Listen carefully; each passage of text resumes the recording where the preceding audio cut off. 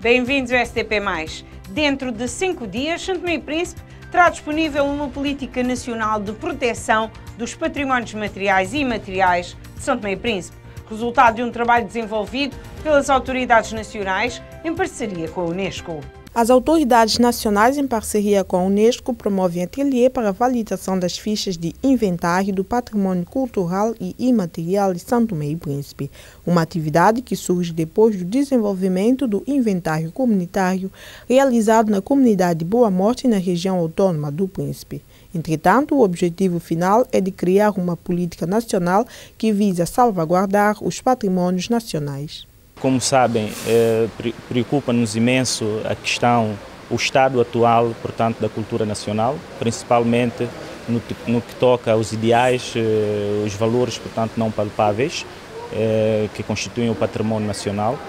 Daí que, com o apoio da Unesco, nós temos vindo a trabalhar desde 2012, que se lançou o, o presente projeto, data em que se criou a Comissão Nacional de Preservação do Patrimônio Cultural e Material, e foi precisamente em abril do ano corrente que nós retomamos essa, essa iniciativa.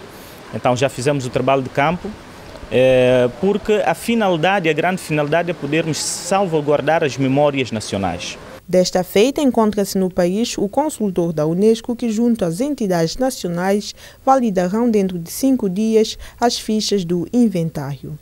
E agora o que nós vamos fazer é estruturar essas informações em forma de uma publicação e discutir algumas ações de salvaguarda de proteção dessas manifestações, daquelas que estão mais é, em risco de desaparecimento, que estão mais ameaçadas, para que a gente possa estruturar uma política de proteção do patrimônio material aqui em São Tomé.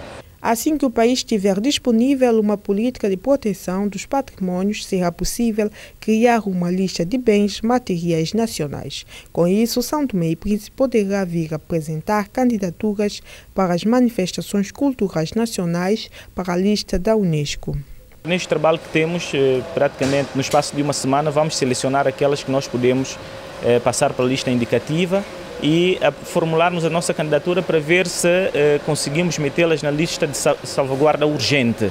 Tanto, e com, eventualmente, se a Unesco vier a fazer isto, apoiar-nos, eh, com o valor arrecadado, nós pensamos que podemos preservar muitas outras que consideramos também em via de extinção.